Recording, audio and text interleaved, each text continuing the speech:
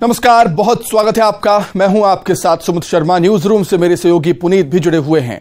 कुछ खास खबरों के लिए हम उनके पास भी चलेंगे, लेकिन भिंड से मिल रही बड़ी खबर मैं आपको बता दूँ, जहाँ पर मंत्री की गाड़ी और ट्रैक्टर की भिड़ंत हो गई। राज्य मंत्री ओपीएस भदौरिया की गाड़ी हादसे का शिकार हुई है। मालनपुर फैक्ट्री के पास ये हादसा हुआ। मंत्री ओपीएस भदौरिया ग्वालियर रेफर किए गए हैं। इलाज के लिए ग्वालियर रेफर हुए हैं मंत्री।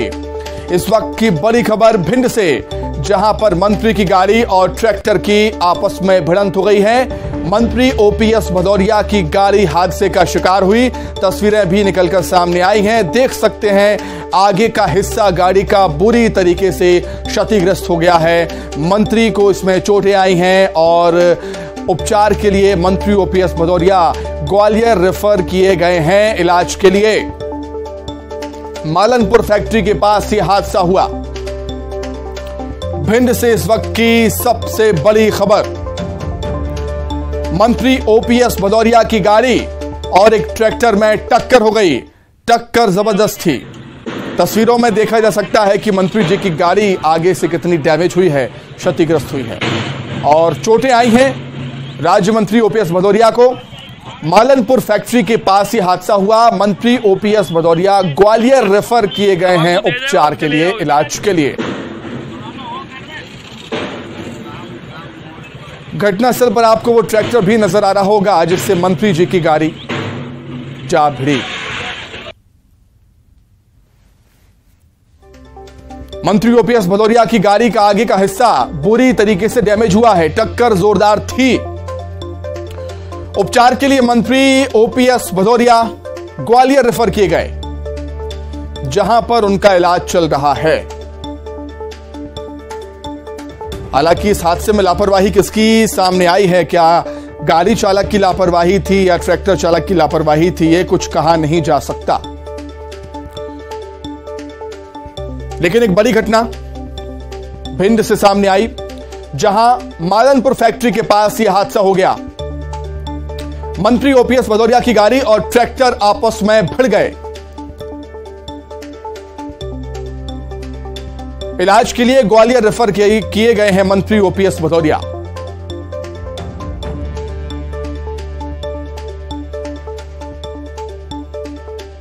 भिंड से इस वक्त की बड़ी खबर। ट्रैक्टर और मंत्री ओपीएस भदौरिया की गाड़ी आपस में टकराए। और गाड़ी का आगे का हिस्सा बुरी तरीके से डैमेज हुआ है। तस्वीरों में देख सकते हैं आप। आगे का हिस्सा क्षतिग्रस्त हुआ गाड़ी का। मंत्री ओपीएस भदौरिया को चोटें आई हैं, उपचार के लिए उनको ग्वालियर रेफर किया गया है। अस्पताल में उनका इलाज चल रहा है।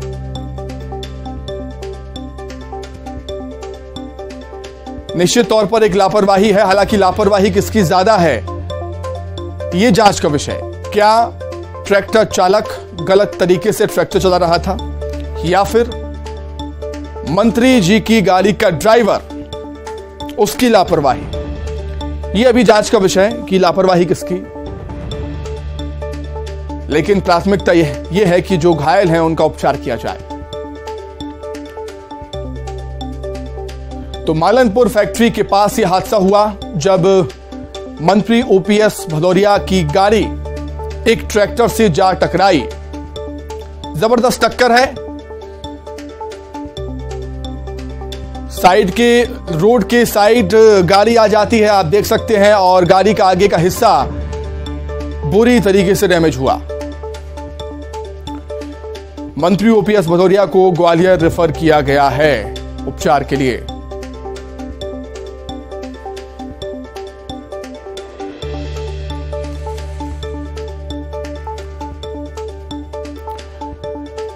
भिंड से इस वक्त की सबसे बड़ी खबर।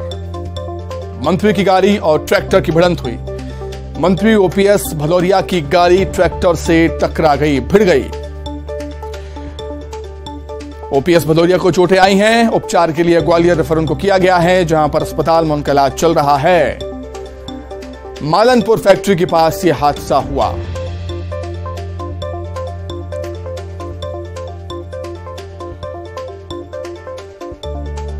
इलाज के लिए ग्वालियर रेफर हुए हैं मंत्री ओपीएस भदौरिया।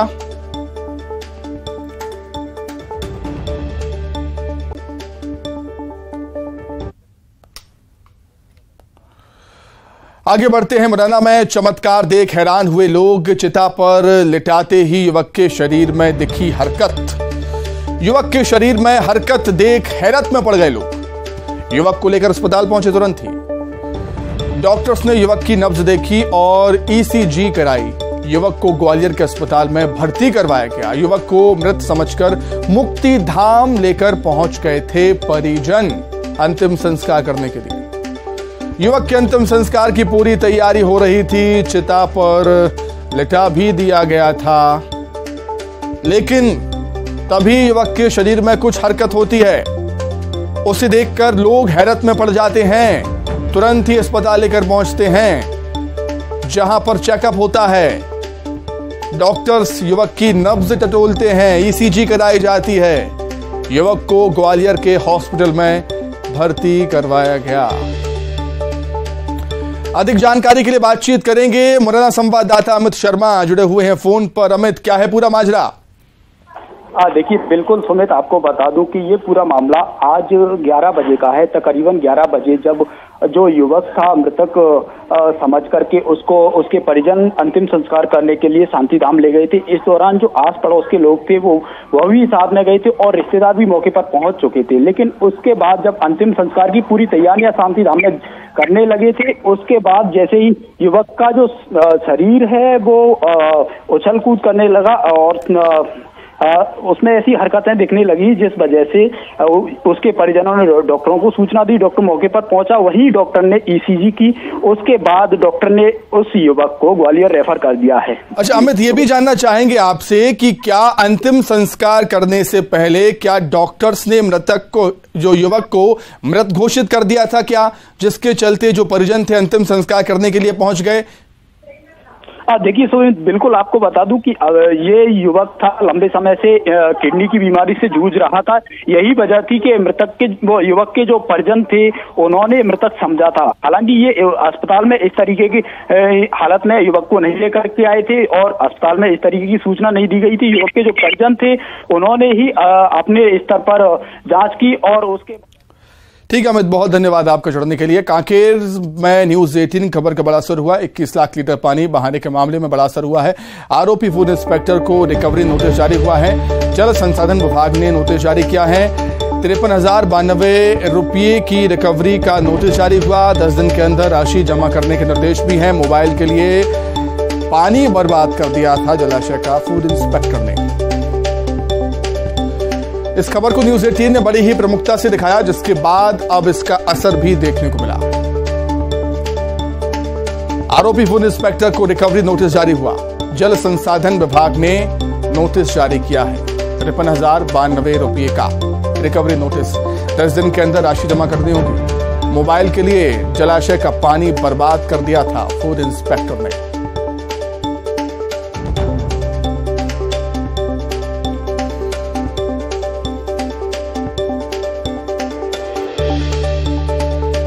तो अपने इसी कृत्य को लेकर काफ़ी चर्चाओं में थे फ़ूड इंस्पेक्टर।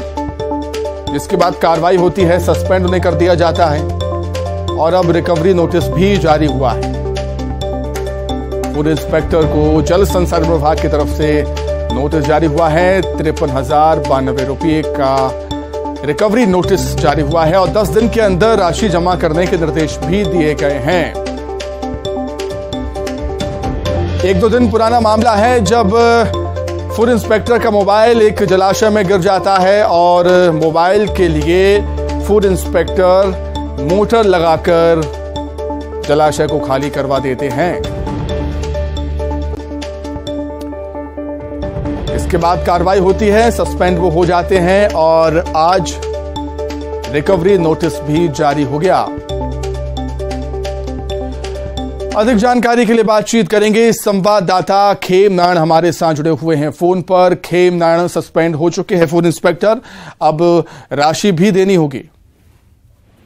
जी देखिए, जिस प्रकार से लाखों लीटर पानी बहाने वाले जो फ़ूड फ़ूड अधिकारी जो राजेश विश्वास है उनको तो पहले सस्पेंड कर दिया गया है। अब जो है जल संसाधन विभाग ने जब अपने एसडीओ को स्पष्टीकरण के लिए नोटिस दिया था तो जब उनकी स्पष्टीकरण हुई तो जाँच विभागीय जाँच में जो है राजेश विश्वास को जो है दोषी पाते हुए जो है तिरपन हज़ार बयानबे रुपए का जो है जो है नोटिस थमाया और 10 दिनों के अंदर में इस राशि को जमा करने का जो है नोटिस जारी किया गया है और ये राशि जो है उनको 10 दिनों के अंदर में जमा करनी होगी। जी।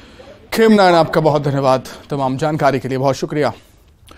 दतिया से बड़ी खबर, जहाँ अवैध हथियार बनाने की फैक्ट्री पर पुलिस ने रेड की। मौके से कई हथियार भी बरामद हुए। छह कट्टे, एक सिंगल शॉट बंदूक, कारतूस बरामद हुए हैं। हथियार बनाने का सामान भी बरामद किया गया।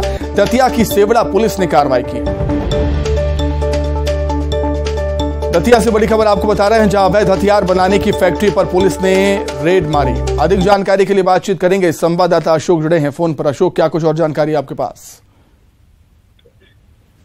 देखिए, सुमित, इसमें जो सबसे महत्वपूर्ण एक बात सामने आई है कि पुलिस को इसमें सीधी सीधी सूचना नहीं मिली थी, बल्कि एक कल पुलिस ने एक आरोपी को पकड़ा था।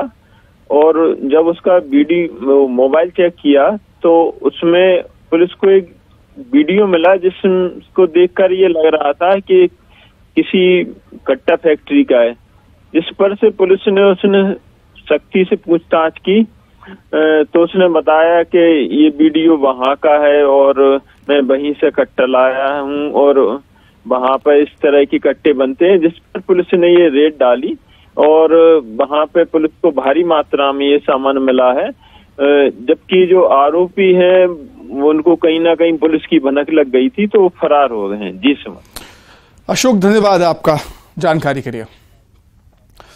खबर इंदौर से है, जहाँ आग का गोला बन गई बीएमडब्ल्यू कार। सुपर कॉरिडोर पर चलती कार में अचानक से आग लग गई। आग लगते ही ड्राइवर और कार सवार, आग कार से बाहर निकले।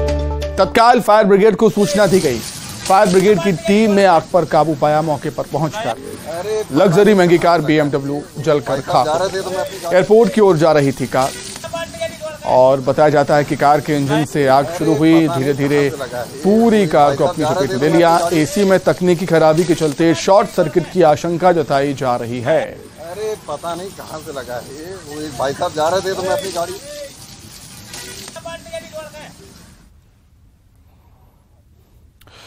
खबर सीहोर से, जहाँ हॉस्टल से छात्रा गायब हो गई। महिला पॉलिटेक्निक की सीएससी ब्रांच की छात्रा गायब हुई है। कॉलेज में हड़कम मच गया।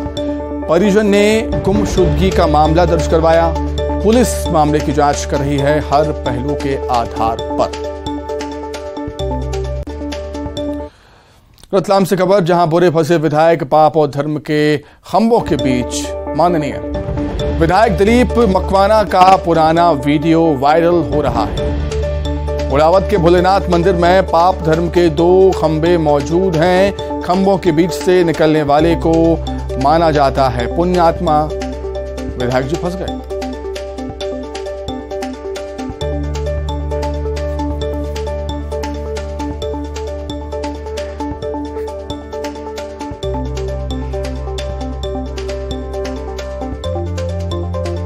तस्वीरें आप देखिए किस तरीके से विधायक जी खंभों के बीच से निकलने की कोशिश कर रहे हैं, जद्दोजहद कर रहे हैं, लेकिन नाकाम साबित होती है।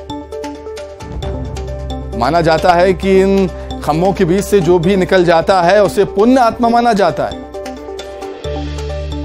दिलीप मकवाना का ये वीडियो काफ़ी पुराना बताया जा तो पाप और धर्म के खम्भों के बीच में फंस गए हैं माननीय निकलने की नाकाम जद्दोजहद करते हुए निकल ही नहीं पा रहे हैं। बहुत कोशिश की।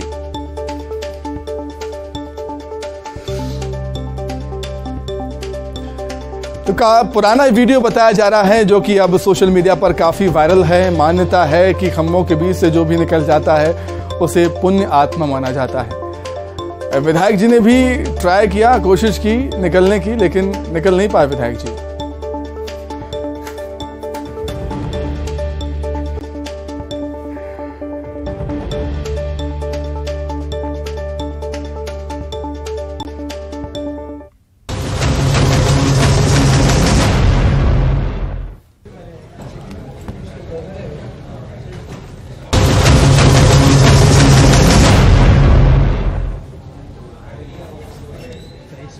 चलिए बढ़ते आगे और बात अब करते हैं अगली खबर की।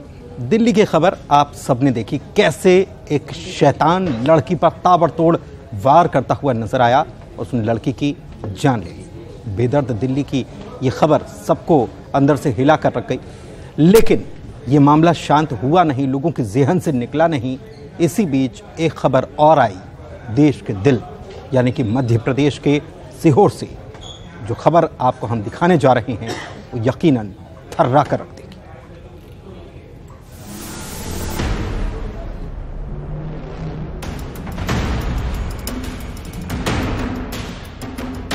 दरिंदगी की हदों को पार करने वाली ये कहानी मध्य प्रदेश के सीहोर की है।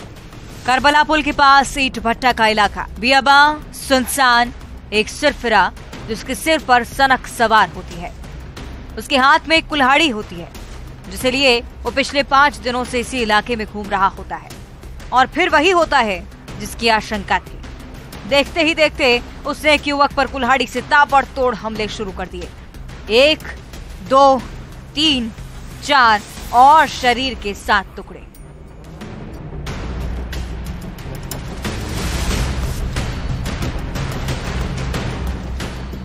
जब वो सिरफरा वारदात को अंजाम दे रहा होता है मौके पर कुछ लोग भी मौजूद होते हैं। वो चिल्लाते रह जाते हैं, लेकिन असर शून्य। और फिर सामने आती है, ये दिल दहला देने वाली तस्वीर। हत्या का आरोपी सुरेंद्र सिंह कुशवाहा मानसिक रूप से विक्षिप्त बताया जाता है। आरोपी सिराड़ी गाँव का रहने वाला है। तफ्तीश जारी है।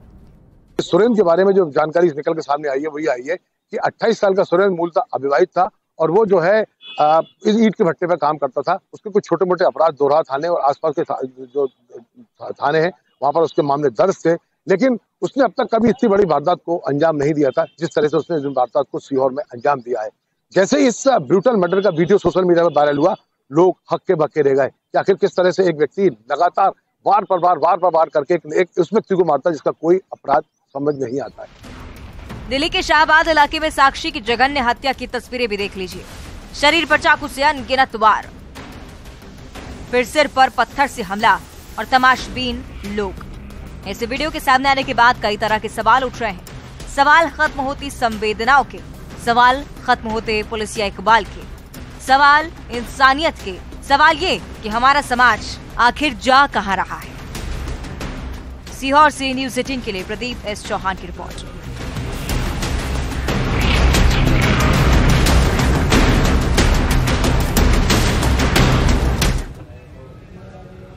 तो तस्वीरें पूरे देश ने देखी, दिल्ली में हुए साक्षी हत्याकांड की।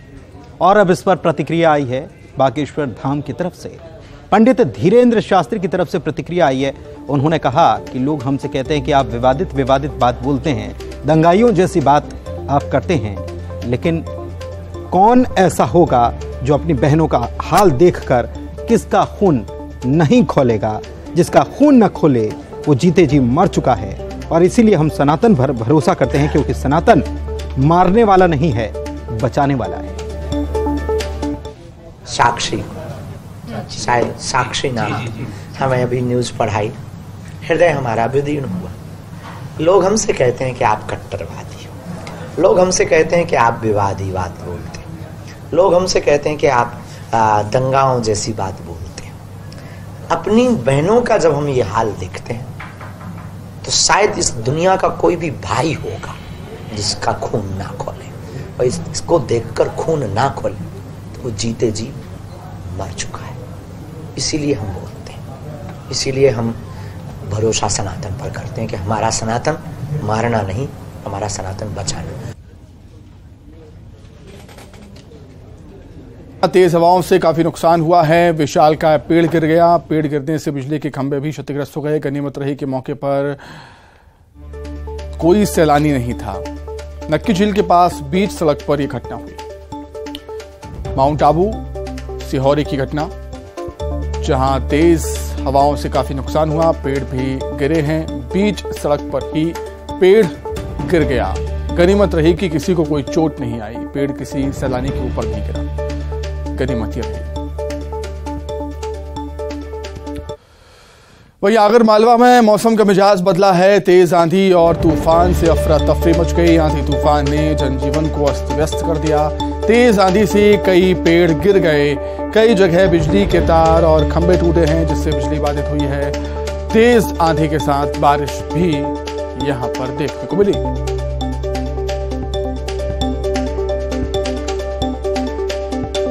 तो आगर मालवा में अचानक से मौसम का मिजाज बदला, तेज आंधी और तूफ़ान से अफरा तफरी मच गई। कई पेड़ गिरे हैं, बिजली के तारों, खंभों पर पेड़ के गिरने से बिजली भी गुल हो गई।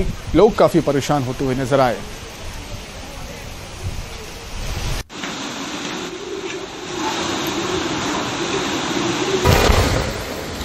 तो मध्य प्रदेश के अधिकांश ऐसे हिस्से हैं जहाँ पर मौसम का मिजाज बदला है। तेज आंधी, तूफ़ान यहाँ पर देखने को मिले।